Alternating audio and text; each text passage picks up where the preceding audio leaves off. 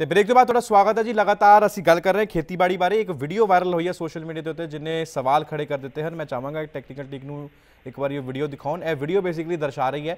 ਮੀਂਹ ਪੈ ਪੈ ਰਿਹਾ ਪੰਜਾਬ ਦੇ ਵਿੱਚ ਔਰ ਸਟੋਰੇਜ ਜਿੱਥੇ ਸਟੋਰੇਜ ਹੈਗਾ, ਜਿੱਥੇ ਸਟੋਰ ਕੀਤਾ ਜਾਂਦਾ ਸਾਰੇ ਅਨਾਜ ਨੂੰ, ਇਹ ਤਿਰਪਾਲ ਹਟਾਈ ਜਾ ਰਹੀ ਹੈ ਇੰਟੈਂਸ਼ਨਲੀ ਤਾਂ ਕਿ ਇਹ ਜਿਹੜਾ ਅਨਾਜ ਹੈ, ਇਹ ਖਰਾਬ ਹੋਏ।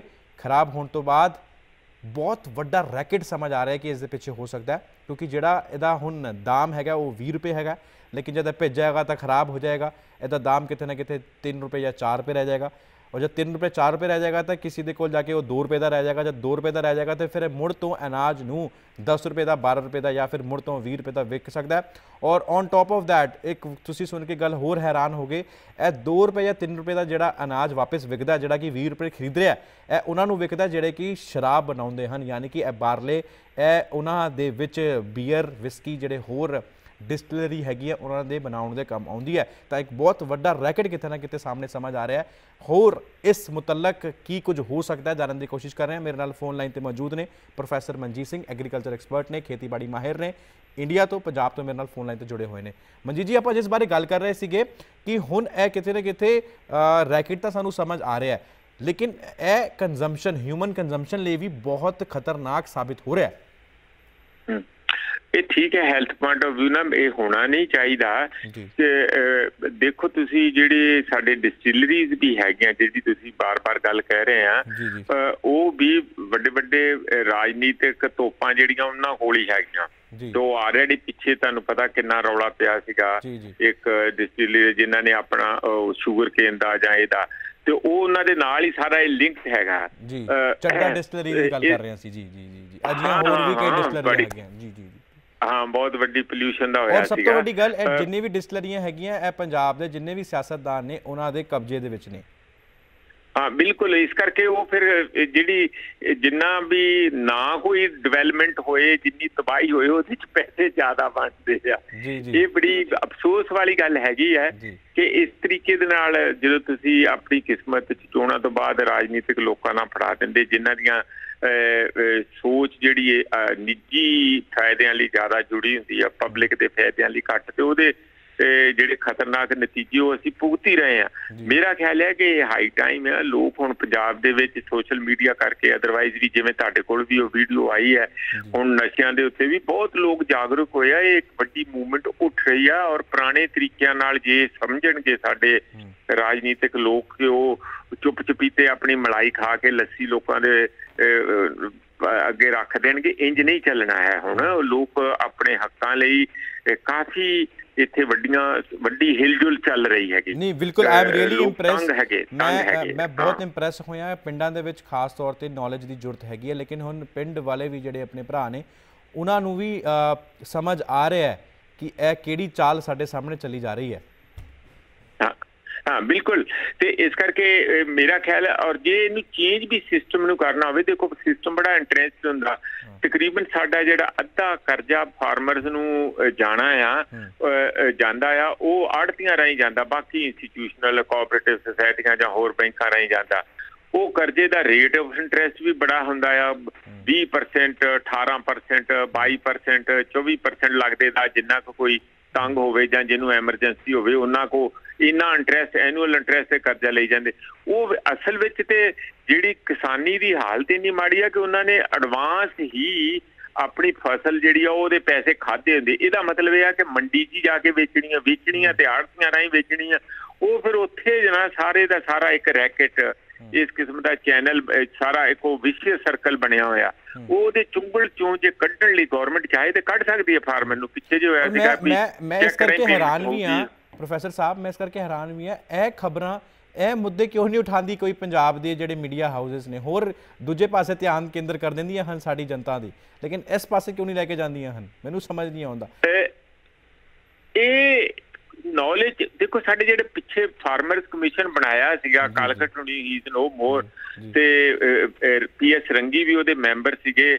ਲਖੋਵਾਲ ਵੀ ਰਿਹਾ ਆ ਬਾਅਦ ਵਿੱਚ ਸਾਰੇ ਰਹੇ ਹੋਏ ਆ। ਇਹਦੇ ਇਹ ਨਹੀਂ ਕਿ ਸਾਡੇ ਕਿਸੇ ਅਕਲ ਦੀ ਕਮੀ ਆ। ਅਕਲ ਤੇ ਹੈਗੀ ਆ ਪਰ ਉਸ ਨੂੰ ਉਹਦੇ ਨਾਲੋਂ ਜ਼ਿਆਦਾ ਅਕਲ ਇਸ ਗੱਲ ਲਈ ਵਰਤੀ ਜਾਂਦੀ ਹੈ ਕਿ ਅਕਲ ਵਾਲੀ ਗੱਲ ਨੂੰ ਜਿਹੜੀ ਲੋਕਾਂ ਦੇ ਹਿੱਤ 'ਚ ਉਹਨੂੰ ਕਿਵੇਂ ਨਹੀਂ ਵਰਤਣ ਦੇਣਾ। ਉਹ ਇਹ ਉਲਟ ਪਾਸੇ ਵੀ ਤੇ ਚੱਲਦੀ ਹੈ ਨਾ ਜਿਹੜੀ ਅਕਲ ਹੈ ਇਸ ਕਰਕੇ ਮੇਰਾ ਖਿਆਲ ਹਾਂ ਮੇਰਾ ਖਿਆਲ ਹੈ ਕਿ ਇੱਕ ਕਿਸਮ ਦੇ ਰੈਕਟ ਤੌਰ ਤੇ ਰਨ ਕਰਨਾ ਸਟੇਟ ਨੂੰ ਐਜ਼ ਅ ਰੈਕਟ ਇਹ ਇੱਕ ਬੜੀ ਅਫਸੋਸ ਵਾਲੀ ਗੱਲ ਮੇਰਾ ਖਿਆਲ ਹੈ ਕਿ ਇਹਦੇ ਚੋਂ ਬਾਹਰ ਆਉਣਾ ਚਾਹੀਦਾ। ਤੁਹਾਨੂੰ ਮੈਂ ਗੱਲ ਇਹ ਲਿੰਕ ਕਰਨਾ ਚਾਹੁੰਦਾ ਸੀ ਕਿ ਮੰਡੀਆਂ ਦੇ ਵਿੱਚ ਜੀ। ਉਹ ਇੱਕ ਵੱਡਾ ਤਾਣਾ ਬਾਣਾ ਆ ਉੱਥੇ ਲੇਬਰ ਯੂਨੀਅਨਸ ਆ ਟਰੱਕ ਟਰੱਕਾਂ ਵਾਲਿਆਂ ਦਾ ਹੈਂਡਲਿੰਗ ਦਾ ਉਹਨਾਂ ਦੇ ਚਾਰजेस ਹੈਗੇ ਆ ਹੋਰ ਕਈ ਕੁਝ ਉਹ ਆੜਤੀਆਂ ਦਾ ਹੈਗਾ ਇਹ ਸਾਰੇ ਨੂੰ ਰੀਵੈਂਪ ਕਰਨ ਦੀ ਲੋੜ ਆ ਤਾਂ ਹੀ ਜਿਹੜੀ ਆ ਅਨਾਜ ਵੀ ਪਚ ਸਕਦਾ ਕਿਸਾਨੀ ਨੂੰ ਵੀ ਰਾਹਤ ਮਿਲ ਸਕਦੀ ਹੈ।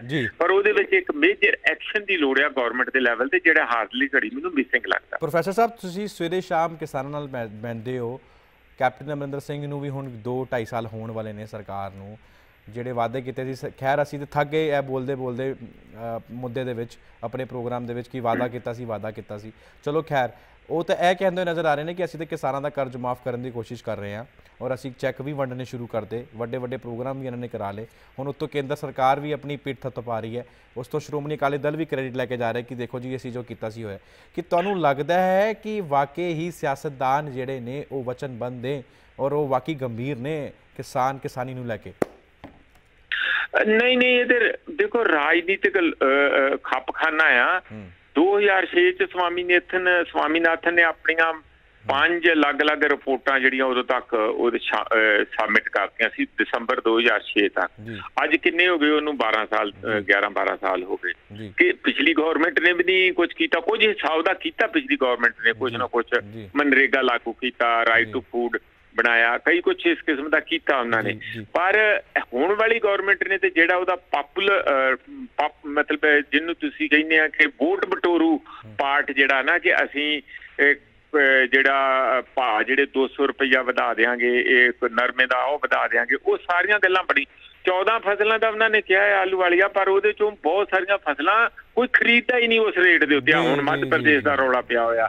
ਤੁਸੀਂ ਭਾਅ ਵਧਾਤੇ ਪਰ ਜੇ ਖਰੀਦ ਹੀ ਨਹੀਂ ਰਹੇ ਤੇ ਭਾਅ ਵਧਾਉਣ ਦਾ ਕੀ? ਤੇ ਜੇ ਜਿੱਥੇ ਤੁਸੀਂ ਖਰੀਦੋਗੇ ਵੀ ਉਹ 200 ਰੁਪਇਆ ਸਾਰੇ ਫਾਰਮਰਸ ਨੇ ਨਾ ਕਰਦੀ ਹੈ ਵੀ ਸਾਡੀ ਤੇ ਇਹਦੇ ਨਾਲੋਂ ਜ਼ਿਆਦਾ ਤੇ ਸਾਡਾ ਖਰਚਾ ਹੀ ਜ਼ਿਆਦਾ ਆ ਗਿਆ। ਤੁਸੀਂ ਭਾਵੇਂ ਗ੍ਰੇਨ ਸਟੋਰੇਜ ਦੀ ਗੱਲ ਆ ਭਾਵੇਂ ਭਾਅ ਵਧਾਉਣ ਦੀ ਗੱਲ ਆ ਸਵਾਮੀਨਾਥਨ ਨੇ ਸਾਰਾ ਕੁਝ ਲਿਖ ਕੇ ਦਿੱਤਾ ਜਿਹੜਾ ਤੁਸੀਂ ਸਟੋਰੇਜ ਦੀ ਵੀ ਗੱਲ ਆ ਨਾ ਕਿ ਕਿਵੇਂ ਹੈਂਡਲ ਕਰਨਾ ਉਹਨਾਂ ਰਿਪੋਰਟਾਂ ਦੇ ਵਿੱਚ ਹੀ ਸਾਰਾ ਕੁਝ ਲਿਖਿਆ ਉਹ ਬਹੁਤ ਵੱਡੀਆਂ ਤੇ ਕੰਪਨੀਆਂ ਹੁਣ ਸਮਝ ਆ ਹੀ ਰਿਹਾ ਸਮਝ ਆ ਹੀ ਰਿਹਾ ਜੇਕਰ ਉਹ ਸਵਾਮੀਨਾਥਨ ਰਿਪੋਰਟ ਨੂੰ ਲਾਗੂ ਕਰ ਦੇਣਗੇ ਤੇ ਕੋਠੀ ਕਾਰ ਤੇ ਆਪਣੇ ਘਰ ਆਪਣੇ ਨਿੱਜੀ ਫਾਇਦੇ ਕਿਵੇਂ ਚੱਕ ਪਾਣਗੇ? ਬਿਲਕੁਲ ਠੀਕ ਹੈਗਾ। ਜੇ ਜੇ ਦੇਖੋ ਉਹਦਾ 50% ਇਹ ਤੇ ਕਾਰਨ ਹੈ ਕਿ ਹਜੇ ਤੱਕ ਸਵਾਮੀਨਾਥਨ ਰਿਪੋਰਟ ਲਾਗੂ ਨਹੀਂ ਹੋਈ। ਇਹ ਤੇ ਮੈਨੂੰ ਕਾਰਨ ਲੱਗਦਾ। ਨਹੀਂ ਬਿਲਕੁਲ ਇਹ ਗੱਲ ਠੀਕ ਹੈ ਕਿ ਦੇਖੋ ਉਹਦੇ ਚ ਉਹਨਾਂ ਨੇ ਕਿਹਾ ਕਿ ਅਸੀਂ 4% ਇੰਟਰਸਟ ਦੇ ਵਿੱਚ ਫਾਰਮਰਸ ਨੂੰ ਕਰਜ਼ੇ ਦੇਾਂਗੇ ਪਰ ਉਹ ਕਿਤੇ ਨਹੀਂ ਜਿਹੜਾ ਪ੍ਰੈਕਟੀਕਲੀ ਉਹ ਕਰਦੇ ਉਹ 18 18% 20 20% ਤੇ ਲੈ ਰਹੇ ਆੜਤੀਆਂ ਕੋਲੋਂ। ਤੇ ਇਸ ਕਰਕੇ ਉਹਦਾ ਬਹੁਤ ਫ਼ਰਕ ਹੈ। ਉਹਨਾਂ ਨੇ ਇਹ ਵੀ ਕਿਹਾ ਸੀ ਬਹੁਤ ਵੱਡੀ ਇੱਕ ਰეკਮੈਂਡੇਸ਼ਨ ਹੈ। ਕਿ ਖੇਤੀ ਨੂੰ ਤੁਸੀਂ ਸਟੇਟ ਲਿਸਟ ਚੋਂ ਕੱਢ ਕੇ ਕਨਕਰੈਂਟ ਲਿਸਟ ਵਿੱਚ ਲੈ ਜਾਓ। ਹਾਂ। ਇਹਦਾ ਇਹਦਾ ਮਤਲਬ ਇਹ ਹੈ ਕਿ ਉਹ ਉਹਦੇ ਚ ਸੈਂਟਰ ਤੇ ਸੂਬਿਆਂ ਦੀ ਦੋਵਾਂ ਦੀ ਜ਼ਿੰਮੇਵਾਰੀ ਹੈ ਖੇਤੀ ਇਹ ਹੋਣਾ ਵੀ ਇਹ ਚਾਹੀਦਾ। ਕਰੈਕਟ ਕਰੈਕਟ ਜਦੋਂ ਜਦੋਂ ਤੁਸੀਂ ਪੈਦਾ ਇੱਕ ਸੂਬਾ ਕਰ ਰਿਹਾ ਉਹ ਆਪ ਨਹੀਂ ਖਾ ਰਿਹਾ ਉਹ ਸਾਰਾ ਦੇਸ਼ ਉਹਨੂੰ ਖਾ ਰਿਹਾ ਸਾਡਾ ਪੂਰਾ ਦੇਸ਼ ਖਾ ਰਿਹਾ ਉਸ ਤੋਂ ਬਾਅਦ ਵਿਦੇਸ਼ਾਂ ਦੇ ਵਿੱਚ ਤੁਸੀਂ ਉਹਨੂੰ ਸਪਲਾਈ ਕਰ ਰਹੇ ਹੋ ਫਾਇਦਾ ਕੰਟਰੀ ਨੂੰ ਹੋ। ਰਿਹਾ ਹੈ ਮੁਲਕ ਨੂੰ ਹੀ ਹੋ ਰਿਹਾ। ਜੀ ਬਿਲਕੁਲ ਬਿਲਕੁਲ ਫਿਰ ਤੁਸੀਂ ਪੰਜਾਬ ਕੱਲੇ ਨੂੰ ਪੰਜਾਬ ਪੰਜਾਬ ਨੇ ਤੇ ਅੱਗੇ ਹੀ ਸਾਰਾ ਕੁਝ ਜਿਸ ਤਰ੍ਹਾਂ ਕਹਿੰਦੇ ਤੇ ਆਪਣਾ ਵੇਚ ਵਟ ਕੇ ਕਰਜ਼ਾਈ ਹੋਈ ਬੈਠੇ ਆ ਨਾਟ ਓਨਲੀ ਦਰ ਆਪਣੀ ਫਸਲ ਪਾਣੀ ਸਾਰਾ ਪੋਲਿਊਟ ਕਰ ਲਿਆ ਸਾਰਾ ਕੁਝ ਸਿਹਤ ਖਰਾਬ ਕਰ ਲਈ ਤੇ ਪੰਜਾਬ ਤੇ ਤਬਾਹੀ ਦੇ ਕਿਨਾਰੇ ਪਹੁੰਚ ਗਿਆ ਦੇਸ਼ ਨੂੰ ਬਚਾਉਂਦਾ ਬਚਾਉਂਦਾ। ਹੈ ਤੇ ਦੇਸ਼ ਦੇਸ਼ ਵੱਲੋਂ ਜਿਹੜੀ ਆ ਉਹਨਾਂ ਨੂੰ ਸਹਾਰਾ ਮਿਲਣਾ ਉੱਥੇ ਕੋਈ ਗੱਲ ਹੀ ਨਹੀਂ ਆ ਉਲਟਾ ਹੋ ਰਿਹਾ ਸਾਰਾ ਕੁਝ ਦੇਸ਼ ਦੇਸ਼ ਦੇ ਵਿੱਚ ਕਹਿ ਦਿੰਦੇ ਨੇ ਨਾ ਉਹਨਾਂ ਨੂੰ ਕਿ ਹੌਸਲਾ ਅਫਜ਼ਾਈ ਕਰ ਦਿੰਦੇ ਨੇ। ਕਹਿੰਦੇ ਤੇ ਹੈ ਕਿ ਦੇਖੋ ਸਾਡੇ ਬਹਾਦਰ ਸਿੱਖ ਨੌਜਵਾਨ ਹਮਾਰੀ ਦੇਸ਼ ਦੀ ਰੱਖਿਆ ਕੇ ਲਈ ਖੜੇ ਹੈ ਬਸ ਇੰਨੀ ਦੇਰ ਚ ਉਹਨਾਂ ਨੇ ਹੌਸਲਾ ਅਫਜ਼ਾਈ ਕਰ ਦਿੰਦੇ ਨੇ ਲੇਕਿਨ ਜਦ ਗੱਲ ਆਉਂਦੀ ਹੈ ਹੋਰ ਗੱਲਾਂ ਦੇ ਉੱਤੇ ਗੱਲ ਕਰਨ ਦੀ ਫਿਰ ਕੋਈ ਨਹੀਂ ਦਿਖਾਉਂਦਾ ਆਪਣਾ ਨਹੀਂ ਅੱਜ ਦੀ ਤੁਸੀਂ ਰਿਪੋਰਟ ਦੇਖ ਲਓ ਕੀ ਕੀਤਾ ਇਹਨਾਂ ਨੇ ਇਹ ਸਾਡਾ ਜਿਹੜਾ ਬਾਰਡਰ ਦੇ ਵਿੱਚ ਹੀ ਤੁਸੀਂ ਜੇ ਗੱਲ ਕਰੋ ਤੇ ਪਾਕਿਸਤਾਨ ਦੇ ਨਾਲ ਇਹ 25 ਕਿਲੋਮੀਟਰ ਤੱਕ ਦਾ ਜਿਹੜੀ ਬੈਲਟ ਆ ਉਹਦੇ ਵਿੱਚ ਸੈਂਟਰ 100% ਸਬਸਿਡਾਈਜ਼ਡ ਚੀਜ਼ਾਂ ਮਿਲਦੀਆਂ ਸੀ ਸਕੂਲਾਂ ਦਾ ਉਹਨਾਂ ਦਾ ਬਾਕੀ ਜਿੰਨੀ ਵੀ ਉਹਦੀ ਡਿਵੈਲਪਮੈਂਟ ਸੀ ਨਾ ਜਿਹਨੂੰ ਬਾਰਡਰ ਏਰੀਆ ਡਿਵੈਲਪਮੈਂਟ ਕਹਿੰਦੇ ਆ ਉਸ ਦੀ ਸੈਂਟਰ ਨੇ ਵੱਡੀ ਇਨਵੈਸਟਮੈਂਟ ਕਰਦੇ ਸੀ। ਹਰ ਕਿਸਮ ਦੀ ਉੱਥੇ ਦੀ ਰੋਡ ਦੀ ਹੋਏ ਪਾਣੀ ਦੀ ਹੋਏ ਸਿਹਤ ਦੀ ਹੋਏ ਸਾਰਾ ਕੁਝ ਇਹ ਇਹਨਾਂ ਨੇ ਕੱਟ ਕੇ ਜੀ ਹਾਂ ਜੀ ਮਨਜੀਤ ਸਿੰਘ ਜੀ। 10 ਕਿਲੋਮੀਟਰ ਤੱਕ ਪੱਟੀ ਕਰ ਦਿੱਤੀ ਆ ਤੇ ਉਹਦਾ 6% ਕਰਤਾ ਬਸ। ਇਹ ਹਾਲ। ਮੈਂ ਕਲੋਜ਼ਿੰਗ ਕਮੈਂਟ ਤੁਹਾਨੇ ਜਾਨਣਾ ਚਾਹਾਂਗਾ। ਸਾਰੀ ਗੱਲਾਂ ਹੋ ਗਈਆਂ। What you think what can be a conclusion conclusion ਕੀ ਹੋ ਸਕਦਾ?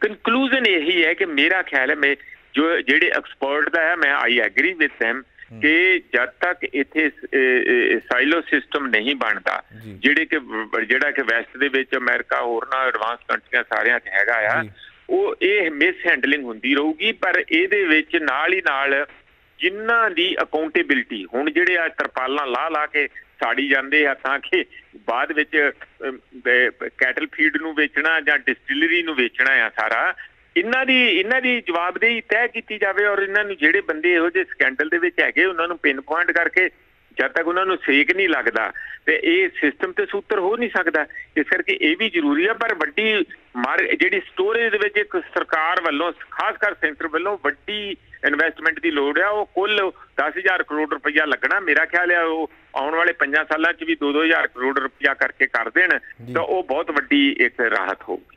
ਬਹੁਤ ਬਹੁਤ ਧੰਨਵਾਦ ਪ੍ਰੋਫੈਸਰ ਮਨਜੀਤ ਸਿੰਘ ਜੀ, ਆਪਣੀ ਗੱਲ ਔਰ ਆਪਣੇ ਸੁਝਾਅ ਸਾਡੇ ਨਾਲ ਰੱਖਣ ਦੇ ਲਈ। ਤੇ ਅਸੀਂ ਕਿ ਖੇਤੀਬਾੜੀ ਮਾਹਿਰ ਪ੍ਰੋਫੈਸਰ ਮਨਜੀਤ ਸਿੰਘ ਜੀ, ਹੁਣ ਸਮਾਂ ਜੀ ਤੁਹਾਡੀ ਕਾਲਸ ਲੈਣ ਦਾ। ਹੁਣ ਜਾਣਨ ਦੀ ਕੋਸ਼ਿਸ਼ ਕਰਦੇ ਹਾਂ। ਇਸ ਮੁਤਲਕ ਤੁਸੀਂ ਕੀ ਕੁਝ ਫੀਡਬੈਕਸ ਔਰ ਕੀ ਕੁਝ ਵਿਚਾਰ ਸਾਡੇ ਨਾਲ ਸਾਂਝਾ ਕਰਨਾ ਚਾਹੁੰਦੇ ਹੋ, ਤੁਸੀਂ ਮੈਨੂੰ ਹੇਠ ਲਿਖੇ ਨੰਬਰ ਦੇ ਉੱਤੇ ਕਾਲ ਕਰ ਸਕਦੇ ਹੋ। ਲਵਾਂਗਾ ਤੁਹਾਡੀ ਕਾਲਸ ਇਸ ਬ੍ਰੇਕ ਤੋਂ ਉਸ ਪਾ